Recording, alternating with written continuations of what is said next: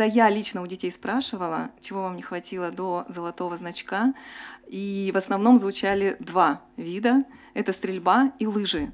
Причем, когда говорили про лыжи, я очень удивлялась, потому что мы северный регион, у нас есть огромная возможность для занятия лыжным спортом детьми. Но, как выясняется, не потому, что преподаватели физкультуры плохо ведут или плохо рассказывают.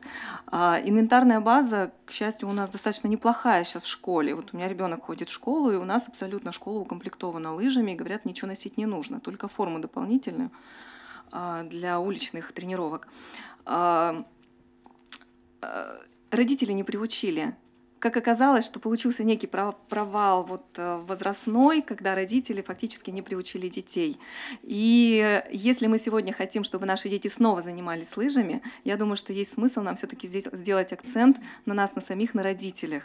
По выходным э, мы видим заполненные базы, и если э, Сергей Викторович, Евгений Владимирович будут продолжать работу именно в этом направлении, увеличения количества баз, увеличения материально-технической базы этих же баз, потому что я уже сталкивалась с вопросом, что не хватает хватает инвентаря, на, не хватает всех э, размеров там, лыжных ботинок, не хватает. Люди просто реально стоят в очередь, иногда по выходным. А учитывая, что сейчас у нас февраль, март, это будет уже хорошая погода, и мне кажется, что как раз в эти выходные уже есть смысл задуматься на том, что о потребности. Я думаю, что вам ваши работники, ваши сотрудники смогут об этом, а, эту информацию подтвердить, о том, что действительно люди стоят в очередь. Как и за коньками, кстати, на катках тоже люди стоят в очередь. Лично я сама стояла в очередь за коньками. И вот лыжи, и еще один такой момент – стрельба. То есть э, в основном все детки провалились на стрельбе. Почему? А потому что нет возможности тренироваться.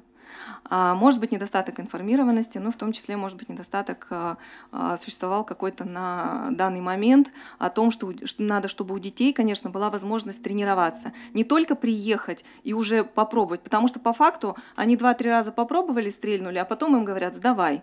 И получается, что все виды сделал на золото, а один вид провалился. И когда вот я просто прикинула по количеству значкистов, да, то есть, в принципе, их могло возрасти еще на 50%, если бы они, у них более-менее был тренированный навык э, стрельбы или э, более-менее тренированные э, они именно в направлении по лыжам. thank you